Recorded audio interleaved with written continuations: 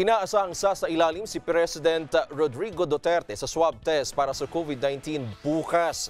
Isang araw bago ang kanyang fifth State of the Nation address o SONA.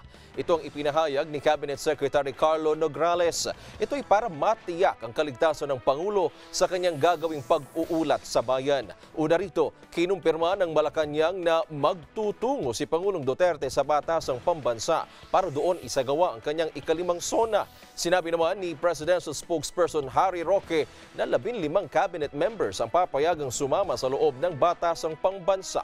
Ay naman kay Senate President Tito Soto, 25 upuan lamang ang ibibigay sa Executive Department, 13 sa House of Representatives at 12 para sa Senado.